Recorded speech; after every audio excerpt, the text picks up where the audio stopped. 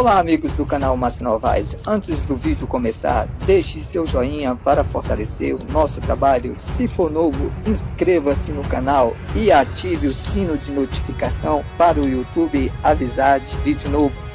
Obrigado e bora para a notícia do dia.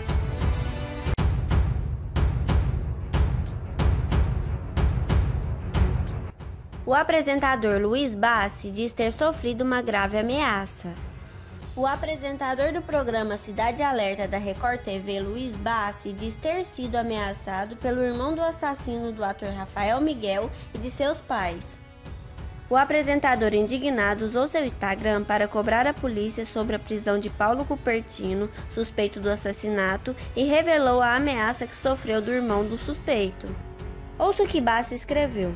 Paulo Cupertino está dando um verdadeiro olé. Há dois meses, a polícia de São Paulo não consegue prender o assassino de Rafael Miguel e seus pais. A vitória do Cupertino em cima da polícia de São Paulo está maior que o pau que o Brasil tomou de 7 a 1 da Alemanha na Copa retrasada. A ameaça que recebi hoje do irmão dele não vai me intimidar. Quem está acobertando a fuga? Será que existe mesmo interesse em prendê-lo? O tempo vai dizer disse o apresentador. E você, o que acha do desabafo do apresentador Luiz Bassi?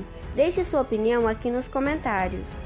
Compartilhe o vídeo, deixe o seu joinha. Se você não é inscrito, se inscreva no canal e até o próximo vídeo do canal Márcio Novaes.